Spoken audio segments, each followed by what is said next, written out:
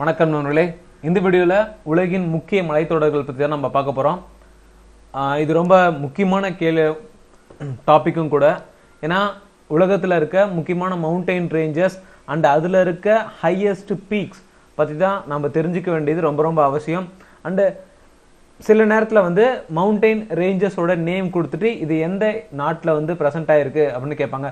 இப்போ எக்ஸாம்பிள் பார்த்தோம்னா ஹிமாலயா அப்படின்னு சொன்னோம்னா நம்ம இந்தியாவில் இருக்குது அப்படின்னு தெரியும்.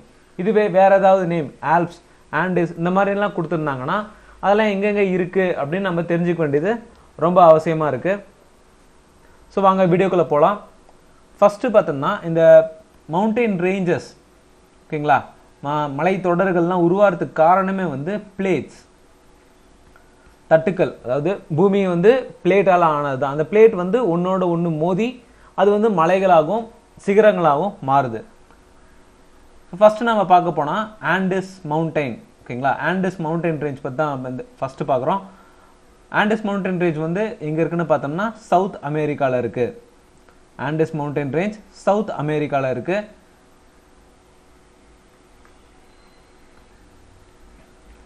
அண்ட் இதோட டோட்டல் லென்த்து இது பரவி இருக்க மொத்த ஏரியா அப்படின்னு பார்த்தோம்னா ஏழாயிரம் கிலோமீட்டருக்கு இது பரவி இருக்குது சவுத் அமெரிக்காவில் ஏழாயிரம் கிலோமீட்டருக்கு இது பரவி இருக்கு. இதில் இருக்க ஹையஸ்ட் பீக் ஆண்டஸ் மவுண்டெயினில் இருக்க ஹையஸ்ட் பீக் எதுன்னு பார்த்தோம்னா மவுண்ட்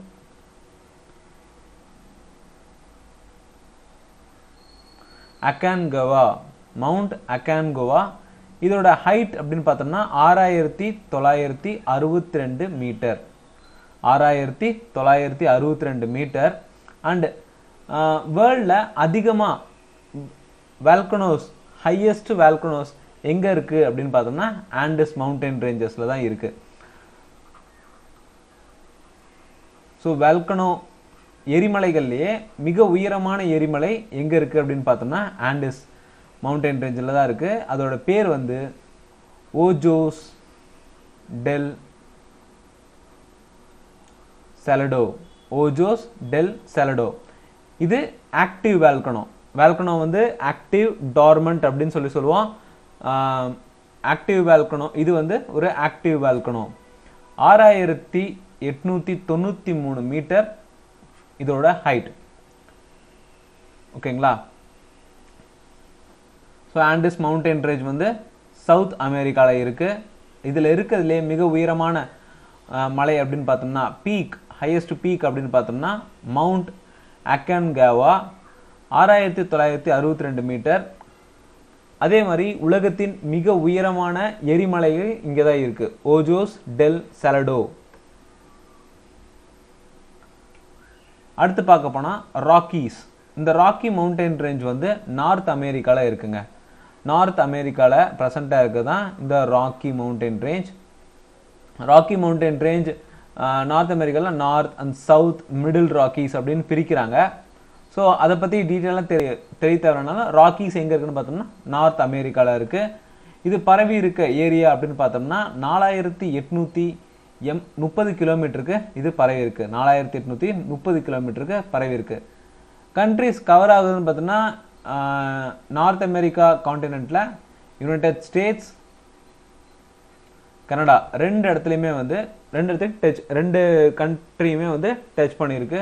இந்த ராக்கி மவுண்டைன் ரேஞ்ச் இதில் இருக்க ஹையஸ்ட் பீக் ஸோ இந்த ராக்கியில் இருக்க ஹையஸ்ட் பீக் அப்படின்னு பார்த்தோம்னா மவுண்ட் எல்பர்ட் மவுண்ட் எல்பர்ட் தான் வந்து ராக்கி மவுண்டைன் ரேஞ்சில் இருக்க ஹையஸ்ட் பீக் அடுத்து கிரேட் டிவைடிங் ரேஞ்ச் ஆஸ்திரேலியா இந்த கிரேட் டிவைடிங் ரேஞ்ச் வந்து ஆஸ்திரேலியாவில் ஈஸ்டர்ன் சைடில் ப்ரெசென்ட் ஆகிருக்கு கிரேட் டிவைடிங் ரேஞ்ச் ஆஸ்திரேலியாவோட ஈஸ்டர்ன் சைடில் ப்ரெசென்ட் ஆகிருக்கு அண்டு இதை வந்து ஆஸ்திரேலியன் ஆல்ப்ஸ் ஆல்ப்ஸுங்கிறது ஒரு மலைத்தொடர் தான். ஆஸ்திரேலியன் ஆல்ப்ஸ் அப்படின்னு கூப்பிடுவாங்க. சொல்கிறாங்க Great Dividing Range Australian Alps அப்படின்னாலும் ரெண்டுமே வந்து ஆஸ்திரேலியாவில் தான் இருக்குது இதோட பரப்பளவு அப்படின்னு பார்த்தோம்னா மூவாயிரத்தி ஐநூறு கிலோமீட்டர் தூரத்துக்கு இது பரவி இருக்கு. அடுத்து டிரான்ஸ் அண்டார்டிக் மவுண்டைன் இந்த டிரான்ஸ் அண்டார்டிக் மவுண்டைன் வந்து அண்டார்டிக் ரீஜன்ல இருக்கு. அண்டார்டிக் ரீஜனையே வந்து வெஸ்ட் அண்டார்டிகாவும் ஈஸ்ட் அண்டார்டிகாவும் பிரிக்குது. இந்த டிரான்ஸ் அண்டார்டிக் மவுண்டைன் இந்த பிளாக் ஷேடோவா இருக்கு பாத்தீங்களா?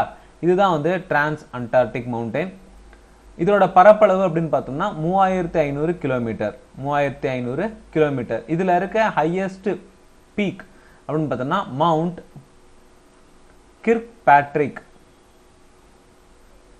மவுண்ட் கிர்க் பேட்ரிக் இதுதான் வந்து டிரான்ஸ் அண்டார்டிக் மவுண்டைன் ரேஞ்சஸில் இருக்க ஹையஸ்ட் பீக் கிர்க் பேட்ரிக் அடுத்து அட்லாஸ் அட்லாஸ்ங்க வந்து நார்த் வெஸ்ட் ஆஃப்ரிக்காவில் இருக்குது அட்லாஸ் வந்து நார்த் வெஸ்ட் ஆஃப்ரிக்கா. இது ஆஃப்ரிக்கன் காண்டினென்ட் அதில். ஸோ இப்படி நம்ம நார்த் வெஸ்ட் அப்படின்னு சொல்லுவீங்களா? நார்த் வெஸ்ட் ரீஜனில் இந்த ஆல்ப்ஸ் மவுண்டைன் ரேஞ்ச் வந்து இருக்குது இதோட பரப்பளவு அப்படின்னு பார்த்தோம்னா ரெண்டாயிரத்தி ஐநூறு கிலோமீட்டருக்கு தூரம் பரவி இருக்கு. அண்ட் இதில் இருக்க ஹையஸ்ட் பீக் என்னன்னு பார்த்தோம்னா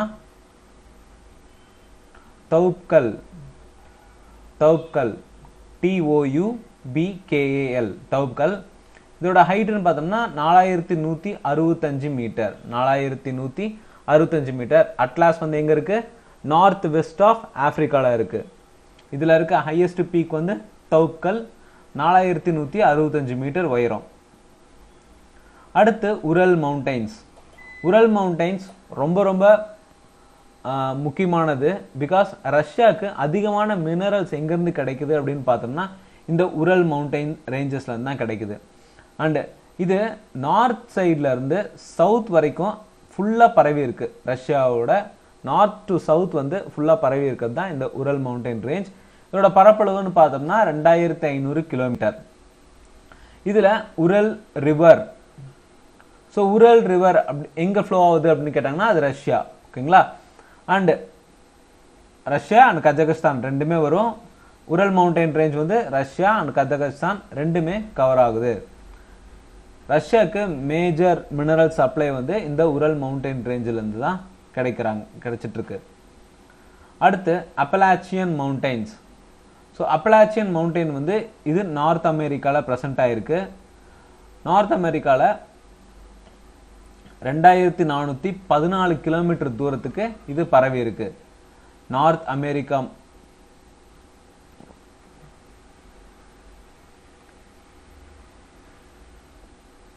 Appalachian mountain range வந்து நார்த் அமெரிக்காவில் ப்ரெசென்ட் ஆகிருக்கு அண்ட் இதில் இருக்க ஹையஸ்ட் பீக் ஹையஸ்ட் பீக் எதுன்னு பார்த்தோன்னா மவுண்ட் மிச்சல் மவுண்ட் மிச்சல் தான் வந்து ஆல்ப அப்பலாச்சியன் மவுண்டன் ரேஞ்சில் இருக்க ஹையஸ்ட் பீக் அடுத்து ஹிமாலயன் காரக்கோரம் ஹிந்துகுஷ் இது இந்தியாவோட நார்த்தன் சைடில் ப்ரெசென்ட் ஆகிருக்கு அண்ட் இதில் இருக்க ஹையஸ்ட் பீக் வந்து நமக்கு தெரியும் மவுண்ட் எவரெஸ்ட் அண்ட் இதோட பரப்பளவு அப்படின்னு பார்த்தோம்னா ரெண்டாயிரத்தி நானூறு கிலோமீட்டர் தூரத்துக்கு பரவி இருக்கு. அண்ட் இதோட வித் ஓகேங்களா? வித் இந்த தூரம் அப்படின்னு பார்த்தோம்னா நார்த் சைட் அதாவது வெஸ்டர்ன் சைடில் நானூறு கிலோமீட்டர் தூரத்துக்கும் அப்படியே சுருங்கி சுருங்கி இங்கே நூற்றம்பது கிலோமீட்டர் தூரத்துக்கு இதோட வித் இருக்கும். ஸோ ஹிமாலயாஸ் தான் வந்து வேர்ல்டுலேயே youngest mountain range youngest mountain range எதுன்னு கேட்டாங்கன்னா அது ஹிமாலயாஸ் ஹிமாலயாஸில் ராக்ஸ் வந்து நம்ம இக்னியஸ் செடிமெண்ட்ரி மெட்டஃபார்பிக் அப்படின்னு சொல்லுவோம். ஹிமாலயாஸை பொறுத்த வரைக்கும் ரெண்டே வகை தான். Sedimentary and metamorphic metamorphic and sedimentary ரெண்டு மட்டும்தான் இருக்கு. இக்னியஸே அதில் ப்ரெசன்ட் ஆகல. இந்த ரெண்டு ராக் டைப்பால் ஆனது தான் வந்து இந்த ஹிமாலயன் ரேஞ்ச் ஸோ ஹிமாலயன் மேலே டாப்பில் நார்த் வெஸ்டர்ன் சைடில் இருக்கிறது தான் இந்து குஷ் அடுத்து அல்டாய் மவுண்டைன் ரேஞ்ச் இது வந்து ப்ரனவுன்சியேஷன் ரெண்டாகவும் இருக்கும். ஐயும் போடுவாங்க ஒய்யும் போடுவாங்க ஓகேங்களா அல்டாய் மவுண்டைன் ரேஞ்ச் இந்த மவுண்டைன் ரேஞ்ச் வந்து மொத்தமாக நாலு கண்ட்ரீஸ்க்கு நடுவில் ப்ரெசென்ட் ஆயிருக்கு. ரஷ்யா மங்கோலியா சைனா கஜகஸ்தான் நாலு கண்ட்ரீஸ்க்கு நடுவில் ப்ரெசென்ட் ஆகி தான் இந்த Altai mountain range and Central and East Asia region அப்படின்னு சொல்லலாம். சென்ட்ரல் அண்ட் ஈஸ்ட் ஏஷியா ரீஜனில் இருக்குது இதோட பரப்பளவு அப்படின்னு பார்த்தோம்னா ரெண்டாயிரம் கிலோமீட்டருக்கு இது தூரமாக பரவி இருக்கு. இதோட ஹையஸ்ட் பீக் இதில் பிரசன்ட் இருக்க ஹையஸ்ட் பீக் எதுன்னு பார்த்தோம்னா பெலுக்கா மவுண்டைன் பெலுக்கா மவுண்டைன் தான் இந்த அல்டாய் மவுண்டைன் ரேஞ்சில் ப்ரெசண்டாக இருக்க highest point or highest peak இதில் ஃப்ளோ ஆகிற ரெண்டு ரிவர் முக்கியமான ரிவர் எதுன்னு பார்த்தோம்னா ஓப் இர்திஷ். ரெண்டு முக்கியமான ரிவர் அப்படின்னு பார்த்தோம்னா ஓப் இர்திஸ் அடுத்து வெஸ்டர்ன் காட்ஸ் வெஸ்டர்ன் காட்ஸ் வந்து கேரளா தமிழ்நாடு கர்நாடகா கோவா மகாராஷ்டிரா அண்ட் குஜராத் வரைக்கும் இந்த வெஸ்டர்ன் காட்ஸ் வந்து பரவி இருக்கு. வெஸ்டர்ன் காட்ஸில் ஹையஸ்ட் பீக் அப்படின்னு பார்த்தோம்னா ஆனைமுடி. வெஸ்டர்ன் காட்ஸோட ஹையஸ்ட் பீக் அப்படின்னு பார்த்தோம்னா ஆனைமுடி. எக்ஸாம் ஓரியன்டா வெஸ்டர்ன் காட்ஸ்ல என்ன கேட்பாங்கன்னு பார்த்தோம்னா பாசஸ் பாசஸ் என்னென்ன வெஸ்டர்ன் காட்ஸ்ல ப்ரெசென்ட் ஆயிருக்கு அப்படின்னு பார்த்தோம்னா பால்காத் கசரா நானிகாத் தமினிகாத் இது எல்லாமே வந்து வெஸ்டர்ன் காட்ஸில் ப்ரெசண்ட்டாக இருக்க பாசஸ் மலைத்தொடருக்கு நடுவில் ஒரு சின்ன வழி இருந்துச்சுன்னா அதை தான் நம்ம பாசஸ் அப்படின்னு சொல்லுவோம். அந்த மாதிரி வெஸ்டர்ன் காட்ஸில் ப்ரெசண்ட்டாக இருக்க பாசஸ்னு பார்த்தோம்னா பாலக்காத் கசரா நனிகாத் தம்ஹினிகாத் ஸோ இதில் முக்கியமானது அப்படின்னு பார்த்தோம்னா இந்த பால்காத் ஓகேங்களா இது ரிப்பீட்டடாக எக்ஸாமில் கேட்கக்கூடியது. இந்த பால்காட் எங்கே ப்ரெசென்ட் இருக்குன்னா கேரளாவுக்கும் தமிழ்நாடுக்கும் நடுவில் ப்ரெசென்ட்டாக இருக்குது அந்த பால்காத் கேப் அண்டு வெஸ்டர்ன் காட்ஸோட பரப்பளவு அப்படின்னு பார்த்தோம்னா ஆயிரத்தி அறநூறு கிலோமீட்டர் ஆயிரத்தி அறநூறு கிலோமீட்டர் தூரத்துக்கு இது பரவி இருக்கு. அடுத்து ஆல்ப்ஸ் மவுண்டெயின் ரொம்ப முக்கியமானது. Alps mountain African and Eurasian plates first ஸ்டார்டிங்கில் சொன்னேன் பார்த்தீங்களா பிளேட் ரெண்டுமே மோதிக்கிறது மூலயமா தான் வந்து இந்த மவுண்டைன் ரேஞ்சஸ்லாம் ஏற்பட்டுச்சு. ஒவ்வொரு காண்டினென்ட்லேயும் ஒவ்வொரு பிளேட் மென்ஷன் நேம் மென்ஷன் பண்ணியிருப்பாங்க. அதை பற்றி இன்னொரு வீடியோவில் பார்க்கலாம்.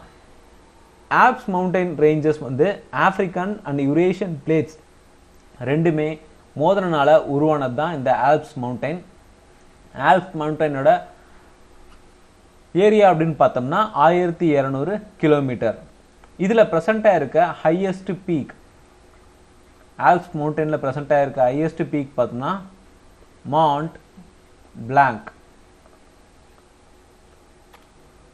ஆப்ஸ் மவுண்டனில் ப்ரெசென்ட் இருக்க ஹையஸ்ட் பீக் வந்து மவுண்ட் பிளாங்க் இதோட ஹைட் அப்படின்னு பார்த்தோம்னா நாலாயிரத்தி எட்நூற்றி பத்து மீட்டர் நாலாயிரத்தி எட்நூற்றி பத்து metre height so Alps mountain எங்கே இருக்கு? ஆப்ரிக்கன் அண்ட் யூரேஷியன் பிளேட்ஸ் ரெண்டுமே சேர்ந்து கொலாடல்னால தான் ஏற்பட்டது தான் இந்த ஆல்ப்ஸ் மவுண்டைன் ரேஞ்ச் இது கண்ட்ரிஸ் நியர்பை கண்ட்ரிஸ் என்னென்னு பார்த்தோம்னா சுவிட்சர்லாந்து ஆஸ்திரியா கொரேஷியா இட்டாலி இதெல்லாம் வந்து டச் பண்ணுது. அடுத்து இதோட ஹையஸ்ட் பீக் ரேஞ்ச் அப்படின்னு பார்த்தோன்னா Mount Blanc next Drakensberg mountain Drakensberg mountain வந்து சவுத் ஆஃப்ரிக்காவில் ப்ரெசென்ட் ஆகிருக்கு சவுத் ஆஃப்ரிக்காவோட சவுத் ஆஃப்ரிக்கன் கான்டினென்ட்டோட ஈஸ்டர்ன் அதாவது சவுத் ஈஸ்டர்ன் சைடில் ப்ரெசென்ட் தான் வந்து இந்த டிராகன்ஸ்பர்க் இந்த டிராகன்ஸ்பர்க்கோட அளவும் சின்னது தான் ஆயிரத்தி நூற்றி இருபத்தஞ்சு கிலோமீட்டர் தான் பரவி இருக்கு. அண்டு இதோட ஹையஸ்ட் பாயிண்ட் அப்படின்னு பார்த்தோம்னா தபானா